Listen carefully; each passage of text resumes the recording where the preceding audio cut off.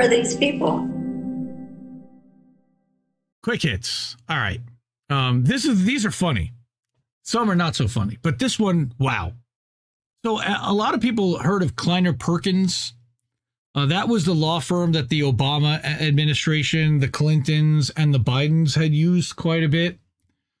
Um, I, I read Sludge a lot. Sludge is a publication I subscribe to. I like their stuff. Donald Shaw at Donnie Donnie on Twitter.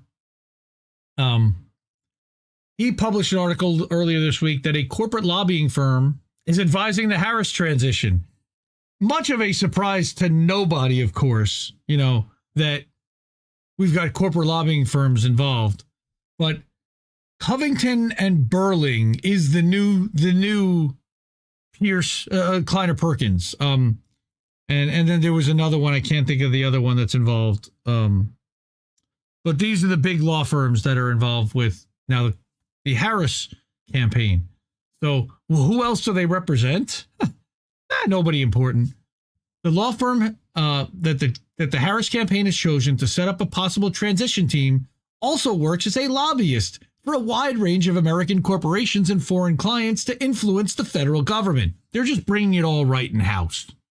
All right. The Harris for President campaign is working with Covington and Burling on setting up the transition, according to CNN. Wonderful outlet they are. Hope they crash and burn and go out of business today. The campaign previously hired Covington and Burling to help it vet possible vice presidential picks before landing on the selection of Tampon Tim, Governor of Minnesota Tim Walz. Okay. While it works on Harris transition preparations, Covington and Burling is also employed as a lobbyist for 38 other interests that include companies, trade associations, individuals, and nonprofits. No big deal, but the firm is representing Amazon as it defends itself against the FTC's lawsuit for allegedly engaging in illegal anti competitive behavior.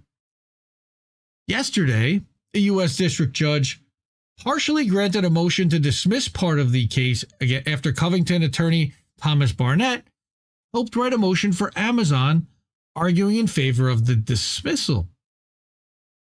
In 2021, Amazon had employed Covington to help it argue that the FTC chair, Lina Khan, should be recused from antitrust investigations involving the company. Now, it turns out they did not do that, and she's been very good. She's one of the few people in the federal government that's actually like done shit the whole company's accountable. But beyond Amazon, Covington and Burling is also representing TikTok as it fights the Biden administration. So now they're representing both sides.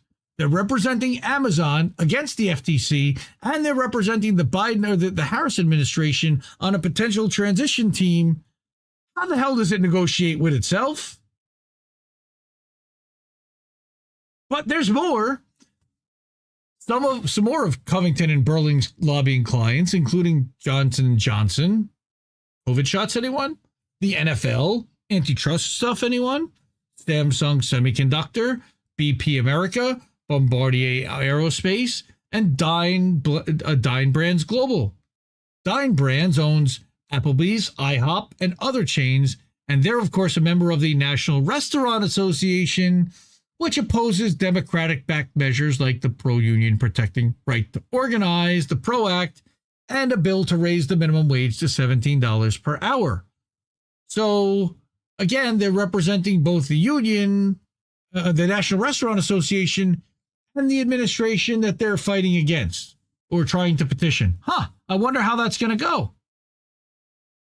The Harris campaign has paid Covington and Burling more than $1.8 billion for legal services so far this election cycle, including payments that were made when President Biden was the nominee.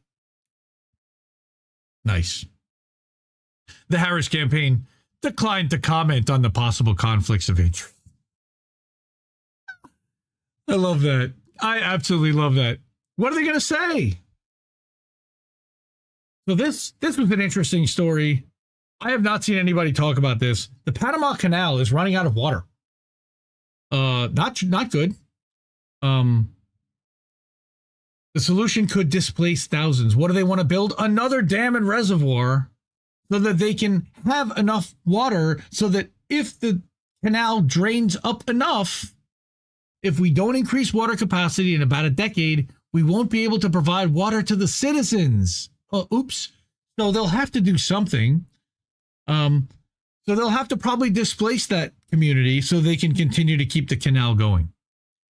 With a future crisis seeming inevitable, the Canal Authority is turning to a long contemplated solution dam the neighboring Rio Indio uh, to create a new reservoir which could be tapped to replenish the canal when the water levels drop and dig a five mile long tunnel to connect it to the canal. Uh, the idea effectively got the green light this summer when the Supreme Court struck down an old law and, in doing so, expanded the Canal Authority's jurisdiction to include the Rio Indio Basin. In total, this is why I brought this, the project would likely take six more years and $1.6 billion. But once the reservoir is built, both the locals and the canal will have all the water they need for another 50 years. And then they'll have to worry about it again. How nice. Filling the reservoir would submerge about 17.7 square miles of land currently home to more than 2,000 Panamanians, according to La Estrella de Panama.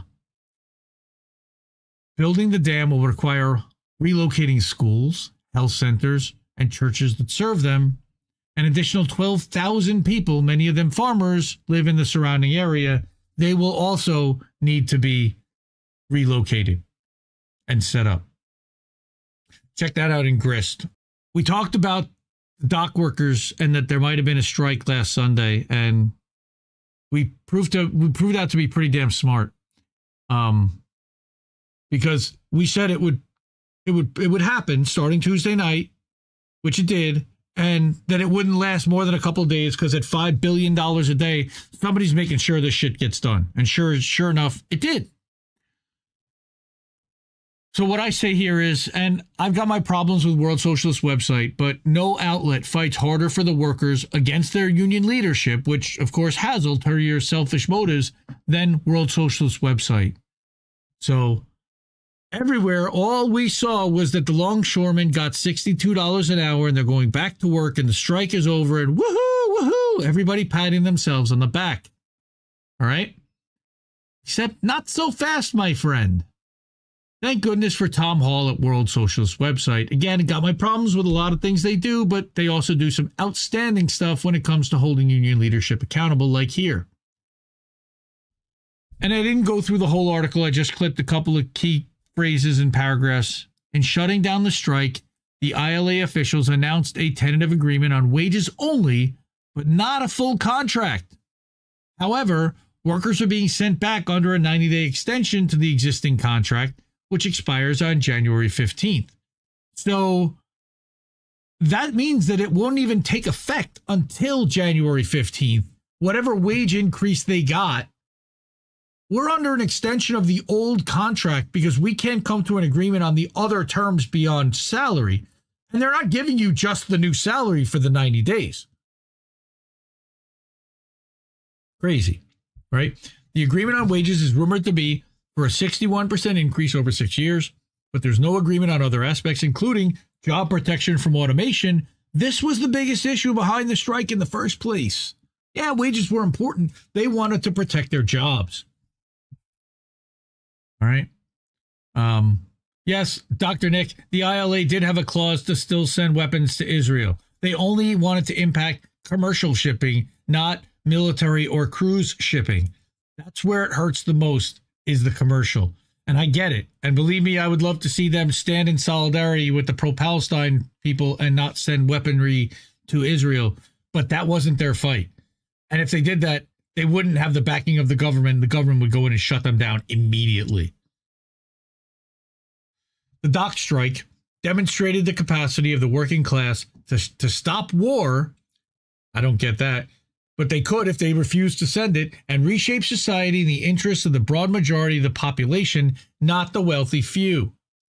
The same profit interests driving the wars abroad are also behind the attacks on the working class in the form of automation, forced overtime, and wage stagnation. Thank you, Tom Hall. Now, the last thing that I had before I wanted to get to what to watch um, was about Rokfin. And I ended up writing another article today about it. But I wrote something the other day that said, Hey, I'm just wondering on the third, this was Friday, anyone get paid out? You know, uh, let's go back to this for one second. Taft Hartley. So Scrugel, they would have used Taft Hartley, but as the uh, the the uh, the head of the longshoreman Howard, whatever his name was, said so eloquently, "Yeah, you slap a Taft Hartley on me, we'll go back to work for for 90 days. Well, we're required to by law, but right now we're moving 30 30 uh, containers an hour. We'll slow it down to eh, eight containers an hour for the same money. See how see how that does you." yeah, we'll go back to work, but not really. Good luck. Unbelievable. All right. Uh, infiltrators also existed in the port strike. Of course they did. Infiltrators are everywhere. Um, a lot of the people that are working on in the media are working on behalf of union leadership, which isn't always looking out for the workers. But union leadership in this case did want what they wanted and they held out. I think they should have stayed out until they got a full contract, but I get it. Look, five billion a day, that's a lot of scratch, and that's somebody somebody wanted to make this happen. So again, any payouts by Rokfin yet? I spoke to all the, the the creators that I know, and none of them has gotten a payout as of now. Still, nobody's gotten any Rae tokens this month. I'm really worried about that as a platform. Look, I spent a lot of time. I, I'm I think we went through the the Rokfin articles that I wrote on the show recently, and I'm very disappointed with with what they've done. Go check that out at indiemediatoday.com. All right. I also did pull to show that. Uh, so, Roar Media, Amber said that she had not been paid out her little nonprofit, and they had been relying on it. They're going to have to look for alternate. And I said that it seems to be it's disappointing. And here were all the transactions that were happening all right, 34,000 Rae tokens, 22,000, 35,000, 25,000. Who's making these kind of transactions? None of us. So maybe they were preparing to pay out. I have not heard of anybody getting paid out. Again, this was Friday or Saturday. Still nothing's happened. All right. And so I wrote this article today that not only that, but it looks like Martin, the CEO, has set up a new company uh, based in Austin called Black Whale LLC. And if anyone's familiar with the symbol of Rokfin, it's a whale. So that that worries me. All right. Um again, we are no longer on Rokfin. There are different ways to contribute and to support INN and the show. We really appreciate if you do. Um Cash App is the easiest way least amount of fees and puts money into the into our bank accounts in a couple days. Then we've got Ko-fi, and the QR code up there will will get you to Ko-fi, and you scan that with your phone. You can give us a couple couple bucks, five bucks for a coffee. PayPal's the way to do it. Rumble, Rumble rants like Anna was doing over there on Rumblades, and um, so okay, I had. Let me go to my single.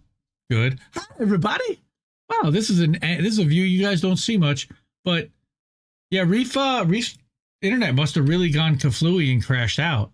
Um, but I did have some things I also wanted to show y'all. Um, some reminders, some recaps, some check this out. So, anyone know who this guy is? Julian, yeah, and and Reef would have a funny sound bit from Trailer Park Boys where he talks about the the the Licky Leaks, the Dicky Leaks. Yes, the guy who started Dicky Leaks. Um, Julian Assange. This is a Zago Brothers illustration. Um, won his case, or was it was finally deemed this week that the detention and conviction of Julian Assange and their chilling effects on human rights, he was a political prisoner, which we all knew but it's nice to have it actually like confirmed in writing by the Council of Europe. We actually covered this live at 2:30 in the morning Eastern time on Tuesday night.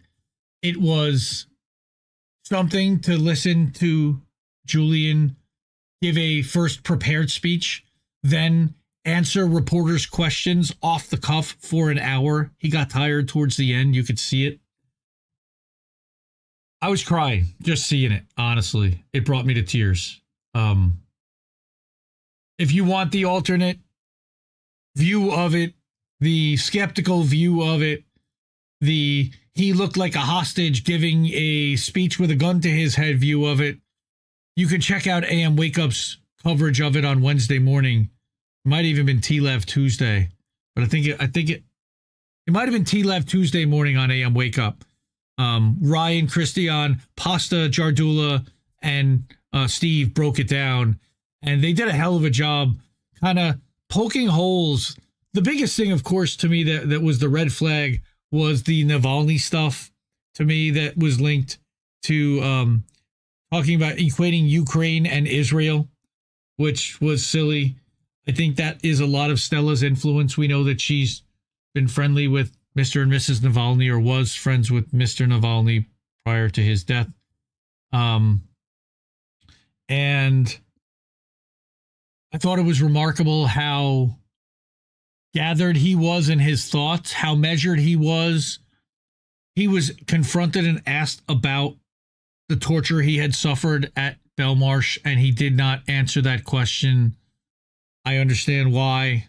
I would like to hear more, of course. You know, look, we get what we get, but at the same time, how controlled was that? And look, I'm just happy to see him start to make that road back. Um, and hopefully he'll figure out the rest of it. Uh, that Ukraine is not our friend, and I think he knows that, but that Israel is not our friend, and I think he knows that. And that those two situations are completely not the same. That Israel is charged with the care of the people in Gaza versus Ukraine, which is attacking their own citizens. All right. Uh, I would say I would the uh, equate the people of the Donbass with the people of of Gaza and what the Israeli government is doing to what the Zelensky government has done to the Donbass, I think that that's a fair comparison. That's not what Julian was trying to say, and I, I think that that, you know, in time he's going to read up and study up, and he's still recovering, and we understand that. Um, again, it was good to see him. It was good to hear his voice. It was good to see his mannerisms and his facial expressions. Um. Anyway, so congratulations to Julian Assange, and and thank you for everything you you've done to sacrifice for us, all of the reports and all the all the risk and everything that you've done. And shout out to Zago for the beautiful illustration. Okay, you can also watch that on Consortium News. We did not put it on our YouTube channel. We ran it on Rumble, on Kick, on Twitch. Um, you can watch the replay on Rumble if you ever want to to see what Julian had to say. Um, yeah, that was the funniest moment. Um, it actually kind of made me a little a little sad when Stella reached over and muted his mic. It just kind of, I, I, it didn't sit well with me. Uh, everybody laughed. I didn't think it was funny, but I see things a little differently about that, and as does Anna and some others. So, um, speaking of Zago Brothers, support the Indie Media Awards. You see that banner up there? Thank you to Charlie Mack and John H. and everyone who hooked up on Friday night on the clip show uh, to to make that number grow. We also again got all the INN people done. So all of the um, existing outlets, all the existing uh, members uh, of the Indie Media Awards are part of this. All of their pictures are are there, and you can go to each individual one and see that for them. Uh, John Pilger, may he rest in peace, also, even. So, all these, check them out. Beautiful artwork and illustration by the Zago brothers. Shout out to them. They're, they're great. He's amazing to work with. Um, I also wanted to, you know, in, in asking people for support, just remind everyone that last last month we streamed as a network 28 out of 30 days. The only two days we missed were the 16th and 17th, which is funny um, in September. But we do need all of your support to keep this going. We got hit with a $250 Canva bill for the year. Our restream costs 700 bucks.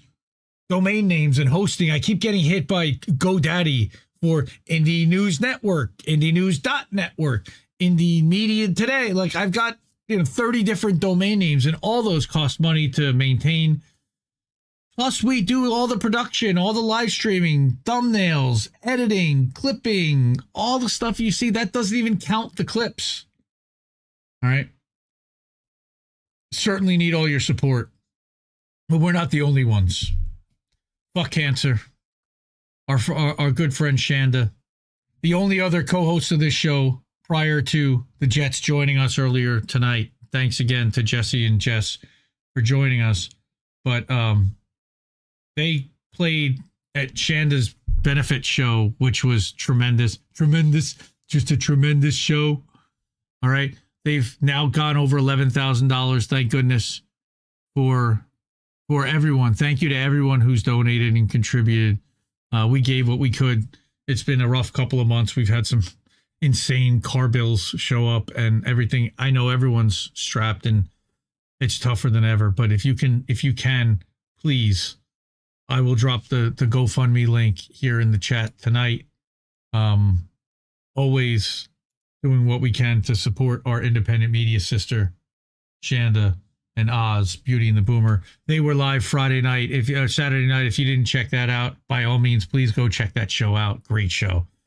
Um, of course, we have the INN newsletter. Every I'm now updating this every day. So every day, if you subscribe for free, you'll get an email giving you all of the live streams, premieres, and articles for that day. The Dissident published something today. You didn't even know. Uh, but if you had, if you got INN newsletter, you would know and you'd be able to link to it and read it, unless you were subscribed to the Dissident. Of course, you know that. But Friday, Saturday, Sunday, and then we still send out a weekly update as well, giving you a recap of all of the live streams and articles published throughout the week right? And that's all for the low, low, low price of zero, absolutely free dollars. All right. Uh, but we are value for value here. We do rely on your financial support, and that's where we do so. So let me go back here. All right. And then I had two more, three more tabs. Again, that's the Rokfin update. Not good. Not good at all. Not good. All right. This is a follow up and you can see this. I'll go through this probably. I'll be on Hard Lens Media tomorrow morning, by the way, talking about this. And I will be on AM Wake Up on Tuesday morning to discuss this with Steve.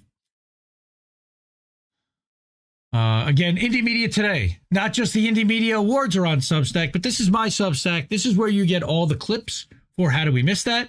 You get live stream alerts with details on what's going to be in the rundown and in the show.